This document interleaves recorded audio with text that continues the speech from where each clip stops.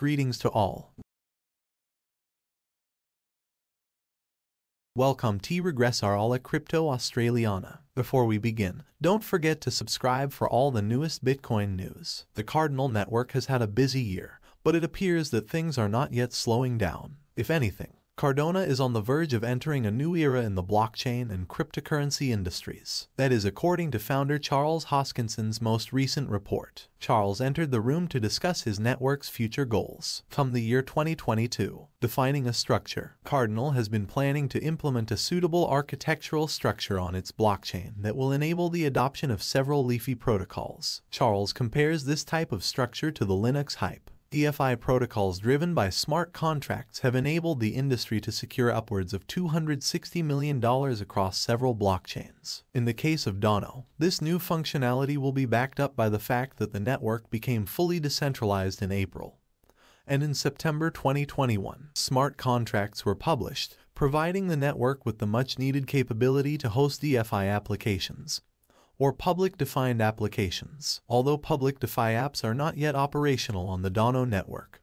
Charles anticipates a boom in activity in the coming year. This is especially encouraging given Cardano's charm offensive in several parts of the world. Apart from its original cryptocurrency, ADA has performed admirably and has maintained a position in the top cryptocurrencies and rankings. ADA is positioned 6th, directly behind it trades at roughly $1.47 and has a market capitalization of $50 billion. The cryptocurrency's price has decreased by 5.8% during the last 24 hours, but has increased by an amazing 15.8% over the last 7 days. Complete more Cardano enhancement requests. See. Meanwhile, developers are hard at work implementing other Cardano's enhancement suggestions and drafting new ones. Among them is the development of a new native wallet. Uh, we're also testing a peer-to-peer -peer system. The Pizza P feature will further decentralize the Cardano network by allowing network validators to interact directly without relying on IOG run nodes. Whatever Charles Hoskinson is,